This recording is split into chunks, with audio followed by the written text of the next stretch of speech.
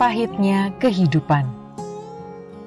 Di suatu desa, hiduplah seorang kakek tua yang bijaksana dan dihormati oleh penduduk desa. Banyak warga desa yang datang untuk meminta nasihat dari sang kakek perihal masalah dalam kehidupan.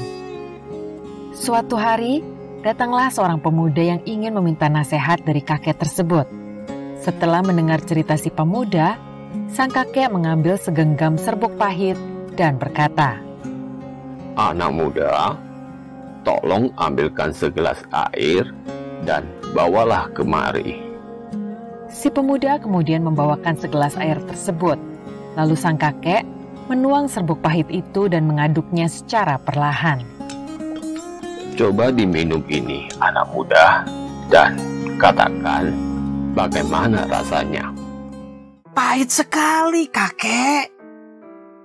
Kakek tersenyum ia lalu mengajak si pemuda mengunjungi sebuah danau di belakang rumahnya.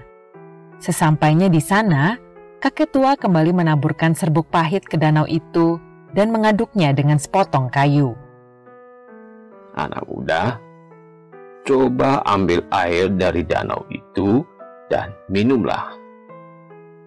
Setelah si pemuda meneguk air itu, kakek tua bertanya lagi. Bagaimana rasanya anak muda air itu? Segar, kakek. Apakah kamu merasakan rasa pahit dari air danau ini? Tidak, kek.